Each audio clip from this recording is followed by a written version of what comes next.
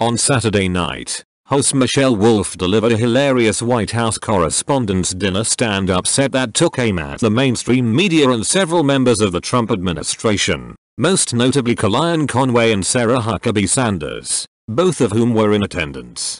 The annual dinner event, held in Washington, D.C., and broadcast on C-SPAN, is meant to raise money for WHCA scholarships and honor the professional recipients of the WHCA's Journalism Awards, according to its website. Proceeds from the White House Correspondents Association annual dinner go toward scholarships and awards that recognize aspiring and accomplished journalists. Right double quotation mark. Conway and Huckabee Sanders appeared instead of their boss, President Donald Trump, who sat out the event for the second straight year. If you recall, Trump was thoroughly roasted scarred by host Seth Meyers and then President Barack Obama at the 2011 edition for both presiding over a gang of quarreling D-listers on The Celebrity Apprentice and his racist birther crusade.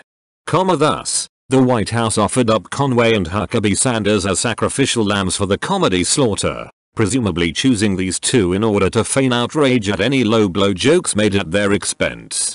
Midway through her set, Wolf took aim at Huckabee Sanders, who was seated alongside her on the dais.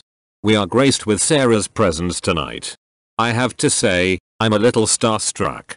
I love you as Aunt Lydia on The Handmaid's Tale, she said, referring to the Hulu show's oppressive villain.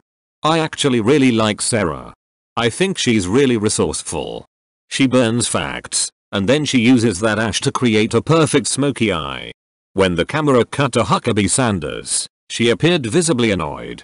The New York Times Maggie Haberman, who was given a shout out in the night's animated opening number, took issue with the smoky eye bit, and accused Wolf of making intense criticism of her physical appearance. Right double quotation mark.